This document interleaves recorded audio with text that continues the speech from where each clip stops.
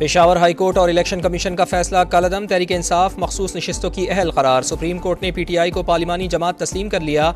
Election commission को तहरीक इंसाफ की फहरिस्त के मुताबिक मखसूस नशस्तों का नोटिफिकेशन जारी करने का हुक्म। पी टी आई को मखसूस नशस्तों के लिए पंद्रह दिनों में फहरिस्त जमा कराने की हिदायत। सुप्रीम कोर्ट के मुताबिक इलेक्शन कमीशन ने अस्सी उम्मीदवारों का डाटा जमा कराया। उनतालीस उम्मीदवारों की वाबस्तगी पी टी आई से दिखाई गई। वो उन्हीं के कामयाब उम्मीदवार हैं। बाकी इकतालीस उम्मीदवार बयान हल्फी जमा करवा कर तहरीक इंसाफ का हिस्सा बन सकते हैं। अदालत ने करार दिया इंतबी निशान से महरूमी किसी जमात का इलेक्शन में हिस्सा लेने का हक ख़त्म नहीं करती। पी टी आई सियासी जमात थी और है।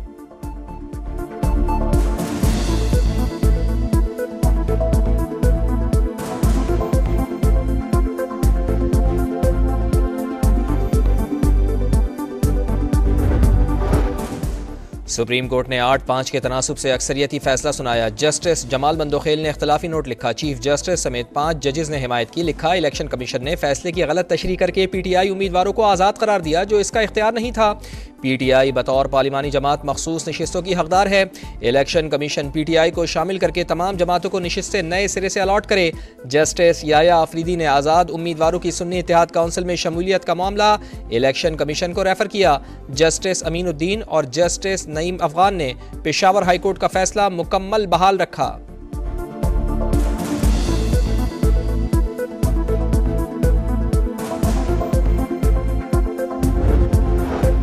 हमारा हक हमें मिल गया। पीटीआई आज दोबारा ज़िंदा हो गई। बैरिस्टर गौहर फैसले से खुश बोले, आज जमहूरियत पसंदों के लिए खुशी का दिन है। फैसला तारीख में याद रखा जाएगा।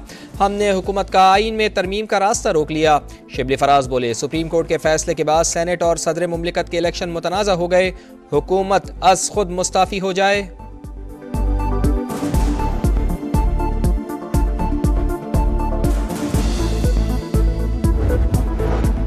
रिलीफ सुन्नी इतिहाद काउंसिल मांगने गई थी, लेकिन अदालत ने पीटीआई को दे दिया। वो रिलीफ मिला जो मांगा ही नहीं गया, लगता है आइन के आर्टिकल इक्यावन और 106 को रीराइट किया गया। समात में सामने आया कि सुन्नी इतिहाद काउंसिल में अकलीतें शामिल नहीं हो सकती तो शायद ये रास्ता बनाया गया। नज़र षानी में जाना है या नहीं, फैसला काबीना करेगी। वज़ीर कानून आज़म नज़ीर तारड़ की प्रेस कॉन्फ्रेंस कहा, हुकूमत को कोई खतरा नहीं, दो सौ नौ अरकान की हिमायत हासिल है। समझ नहीं पाया सुप्रीम कोर्ट ने कौन सा दायरा इख्तियार इस्तेमाल किया। बाद नज़र में, अभी तक के फैसले में वजाहत नहीं इबाम और सवालत ने जन्म लिया है। आइनी और कानूनी खामियाँ जेर बहस रहेंगी।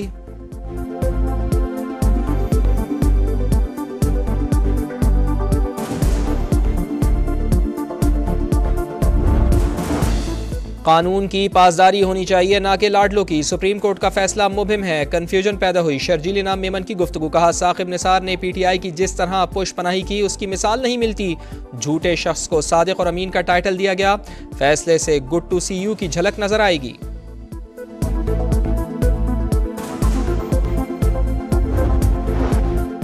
आज का फैसला, अदालती फैसलों की तारीख में सेहतरीन दिन। इसमें आइन और कानून नज़र नहीं आता, मुस्तफ़ा कमाल की प्रेस कॉन्फ्रेंस कहा, जिसका सोशल मीडिया मज़बूत है, जो गाली बक सकता है, आज उसका राज है। जो इदारों के ख़ानदानों की तजलील कर सकता है, उसके लिए फ़ैसले होते हैं।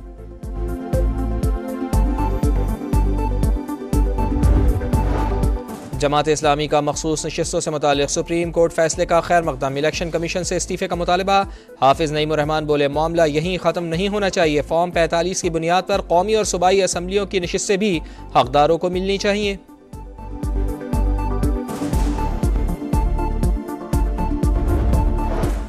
लाहौर में मानसून का धुआंधार स्पेल। बारिश का 30 साल का रिकॉर्ड टूट गया। ताजपुरा में 315 मिलीमीटर बारिश। नशेबी इलाके जेर आब। सड़कों पर पानी ही पानी।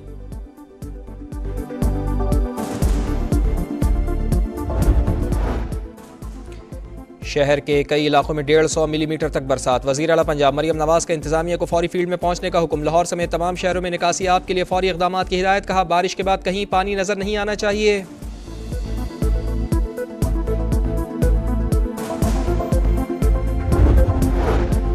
और आज़रबाईजान के सदर इल्हाम ऑफ़ दो रोज़ा दौरा मुकम्मल करके वतन रवाना हो गए। सदर आसिफ अली जरदारी से मुलाकात में बाहमी दिलचस्पी के शोबों में सूदमंद ताउन बढ़ाने के आज़म का यादा तोानाई तजारत, रवाबित, दिफा और अवामी रवाबित के शोबों में ताउन मजीद वसी करने के आज़म का इजहार।